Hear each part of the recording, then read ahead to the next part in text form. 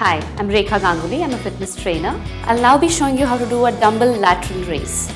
Pick up a couple of dumbbells and stand with a straight torso and the dumbbells by your side at arm's length with the palms facing down.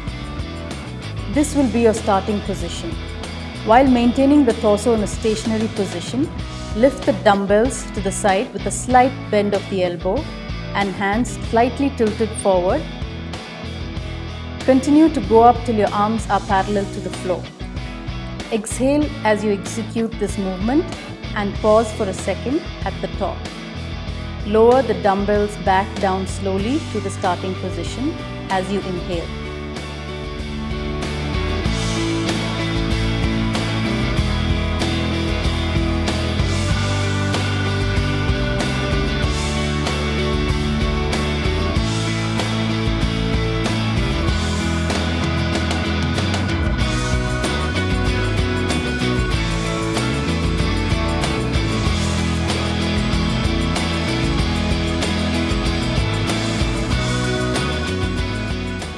Hope you guys enjoyed this video. Do hit the like button.